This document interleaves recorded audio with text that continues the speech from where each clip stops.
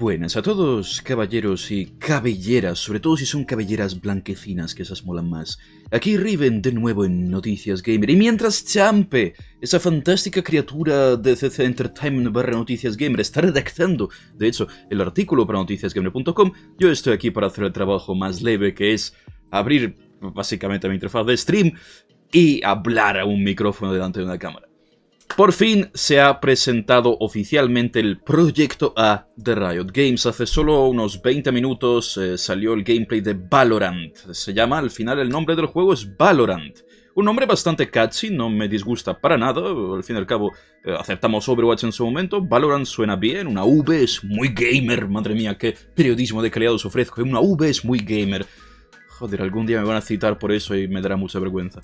Así que hablaremos de qué es el Valorant, eh, qué tipo de hype puede darnos y a quiénes debería dar hype y si es para vosotros, es para mí, es para alguien este juego, qué es lo que ofrece, qué lo hace distinto, qué es lo que hace que este juego pueda merecer nuestra atención.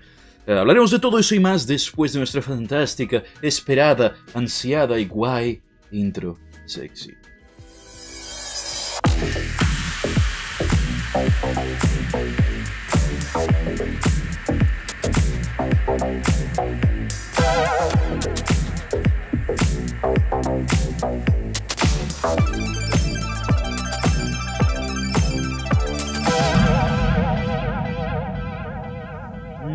Fantásticamente sexy esa intro. Se dice que la intro sexy es tan buena en los shooters tácticos que se ha pasado el Counter-Strike Go.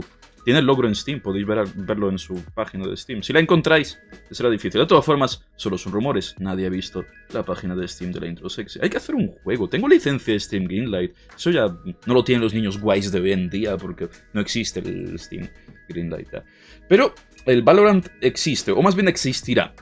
Eh, hace poco más de un mes, justo antes del lanzamiento de la beta abierta de Legends of Runeterra, hablé de hecho un rato con el CM de Riot España, que es un tío con el que tenemos bastante contacto en NG y eh, yo hablé algo con él en privado porque, bueno, por su trabajo anterior, un tío súper, súper, súper majo y la verdad es que hablábamos de Legends of Runeterra sobre todo, pero es un juego que el Runeterra a mí no me dio mucho hype porque juegos de cartas, bueno, para eso juego a Magic y no juego a Magic tampoco. Em, así que hablé con él un rato y lo que más hype me dio realmente es cuando empezó a hablarme del proyecto A. Eh, me dijo que podemos esperar cosas muy chulas. Eh, yo le dije que lo que más espero es el RPG, por supuesto. Me dijo, no esperes el RPG que ya tardará en salir probablemente. Eh, pero el proyecto A no tardaría mucho. Y es que el proyecto A sale este verano 2020, o sea, en escasos meses. Estamos en marzo ya, aunque parezca mentira. Uh, marzo, buen mes. Muy caluroso por algún motivo. Aquí en Benidorm. Pero eh, ¿Por qué me dio hype eh, este proyecto A, que ahora se llama Valorant, eh, cuando hablé con, con el CM de Riot España? Porque me describió lo que estamos viendo ahora de fondo, me describió el gameplay que ahora estamos viendo por fin.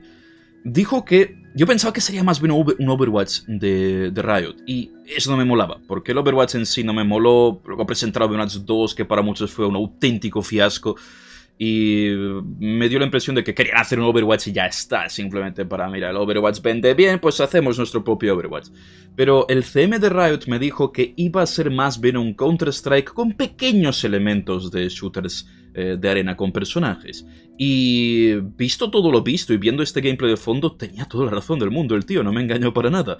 Em, eh, ahora he investigado un poquito, por, eso tardo un poco en sacar este vídeo. El gameplay se hace 40 minutos, estoy tardando un huevo en sacar el vídeo, eh, madre mía, soy ineficiente. Eh, pero estuve investigando un poco entrevistas y tal para informarme más para hablaros de este juego. Y la idea es eso, esto va a ser un shooter táctico bebiendo directamente de la fuente de Counter-Strike. Eh, algunos lo podrían asimilar también a, mm, asemejar más bien al Rainbow Six eh, por el tema de personajes y tal, pero yo lo veo más como un CSGO con un pequeñísimo elemento de Overwatch. Riot quiere hacer hincapié enorme en que esto va a ser un shooter táctico donde el que va a ganar es el que dispara mejor, el que se mueve mejor y el que hace mayor caso a su entorno, es decir, escucha los pasos, se agacha cuando tiene que agacharse, rusea cuando tiene que rusear, veremos Rush B en Valorant probablemente, tengo ascendencia rusa, yo voy a hacer B, joder, este juego es para mí. Em, así que la idea es que esto en esencia va a ser un Counter-Strike, básicamente. Eh, la idea del, modo principal del juego, no sé si habrá más, pero la idea del modo principal del juego es plantar una bomba en punto A, punto B, eh, un equipo ataca, otro equipo defiende, varias rondas, hay que comprar armas al inicio de cada ronda, armas eh, que son semifuturistas, algunas basadas en armas clásicas de, este tipo de juegos, otras totalmente inventadas, tenemos análogos a la AK, que, es lo que usaba el chaval aquí hace un momento, tenemos revólveres, tenemos francotiradoras, tenemos todo lo típico de, de juegos de este género. pero con un elemento, bueno, elemento cartoon, para empezar, tiene pinta que esto va a funcionar en cualquier patata. Así que eso de que me dirá, ah, tengo un i3. Y no sabes ni siquiera si es primera generación o décima, pero de, probablemente funcionará en un quad-core. Eh, con una 8800 GTS, pero arriba en una 8800 GTS es como 8 veces mejor que la 1080, ¿no? Porque, Sí, la verdad es que sí, tengo la caja aún por casa en alguna parte. Tenía un, render 3D super cutre. En aquella época teníais que ver el arte que tenían las gráficas en las cajas. Madre mía. Pero sí, eh, este juego tiene pinta que con ese toque cartoon va a funcionar súper bien en cualquier PC, va a estar hiper optimizado, porque estos juegos lo requieren. Oye, la gente que se gasta pasta en monitores de 240 Hz tienen que conseguir 240 FPS porque si no se sienten timados. Eh, te miro a ti, World of Warcraft, mm, con mi monitor de 144 y no lo aprovecho. Así que, mm, aparte, la estética, la estética por supuesto es futurista, no sé qué lore tendrá, si es que tendrá lore, me recuerda un poquito a Apex en estética. Eh, la idea es que aparte de tener esa base de CSGO, el juego va a tener una presencia por supuesto de personajes con habilidades únicas.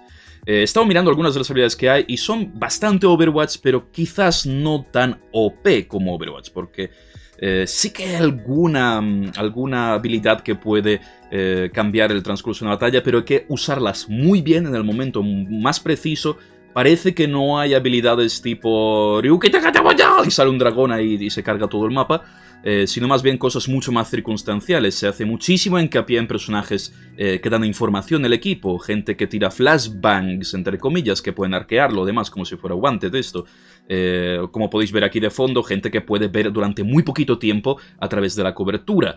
Eh, granadas de humo que oscurecen un poco la visión. Todo eso son habilidades de personajes diferentes. Se nota que lo que quieren hacer es que aparte de que el shooting sea satisfactorio y que eh, tu habilidad como jugador tenga que tener una enorme relevancia en cómo vas a jugar, eh, haya sinergia en la composición de grupos y si juegas con amigos haya builds básicamente de oye nuestro equipo necesita un healer, un tío que tenga cierta utilidad, otro que tenga otra utilidad y tener una combinación perfecta de personajes.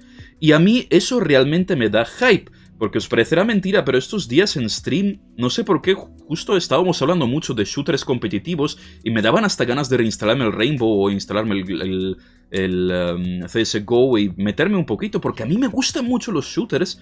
Eh, los shooters fueron de los primeros juegos que jugué en mi vida hace más de 20 años.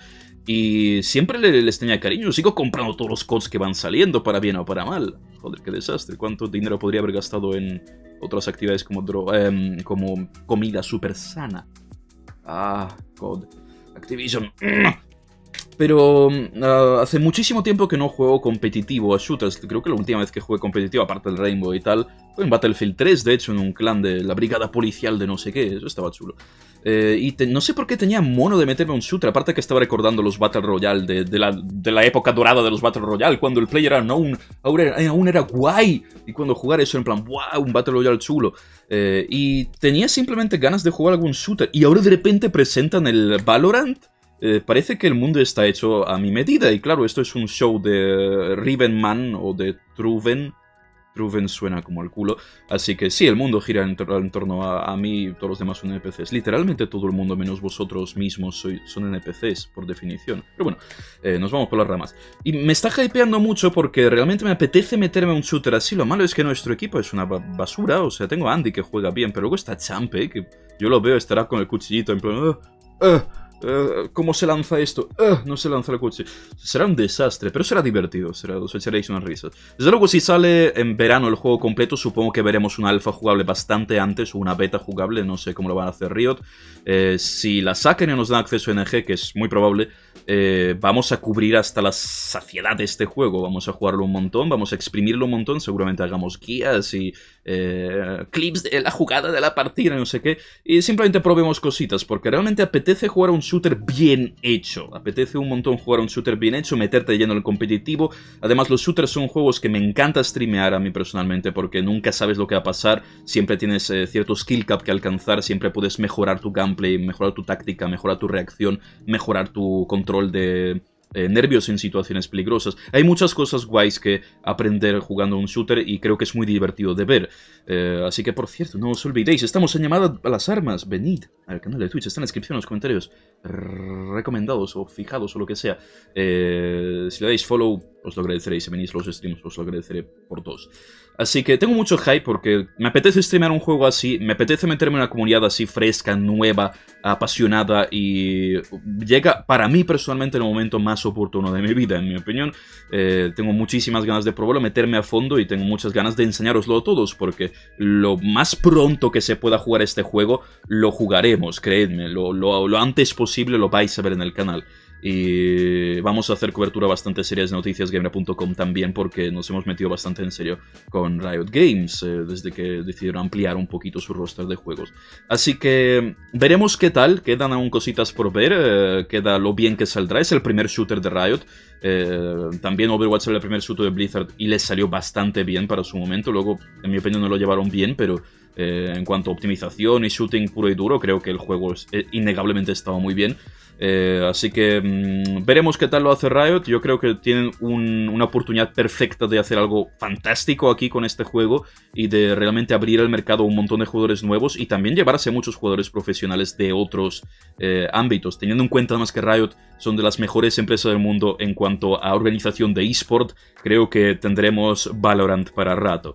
Así que estaremos muy atentos a noticias más frescas. Recordad que las noticias más frescas e interesantes las podéis encontrar no solo en este canal, que es muy chulo, no solo en el canal de Champe, que también está en mis canales recomendados, sino en noticiasgamer.com, vuestra web de Noticias Gamer, lo que sea que signifique eso. Em, así que echadle un ojo también a noticiasgamer.com, porque ahora mismo Champe tiene que publicar el artículo recopilando todos los datos relevantes al respecto. Y nada, no quiero alargar mucho más esto, porque además hoy seguramente haya dos vídeos, porque esto sale de repente y sale aquí por la mañana antes de que yo me vaya a dormir. Eh, justo he estado cerrando redacción además. Y mm, pronto sacaré algún vídeo más probablemente, así que lo dicho. Hacedme caso lo de Twitch. nos falta gente estos días para que Twitch diga, coño, tenemos que darle el partner porque el tío esté súper pesado y tiene un montón de tíos ahí eh, dando por culo, poniendo UU en el chat. Cualquiera que ponga UU en mi chat de Twitch está automáticamente baneado, por cierto, no lo hagáis. Eh, mi chat es una zona libre de UUs. No pongáis UUs en mi chat de Twitch, no lo hagáis. Así que nada, muchas gracias a la gente que sale aquí en pantalla, son unos guapetrones que nos apoyan mes a mes, tanto aquí en YouTube como en Patreon. Eh, de verdad se agradece muchísimo el apoyo, porque ya sabéis que los youtubers cobramos una miseria, así que eh, cualquier, mm, cualquier ayuda es bienvenida. En particular destaco, por supuesto, nuestros CCACIS épicos, John Daimenara, Hechi y Roman Izquierdo, y nuestro CCACI legendario, la Fide Gold. Muchísimas gracias a estos preciosos de mi alma. Y nada, nos veremos en futuros vídeos y directos, como siempre, dadle like, favoritos, suscribiros a mi canal, como os plazca. Y hasta la próxima.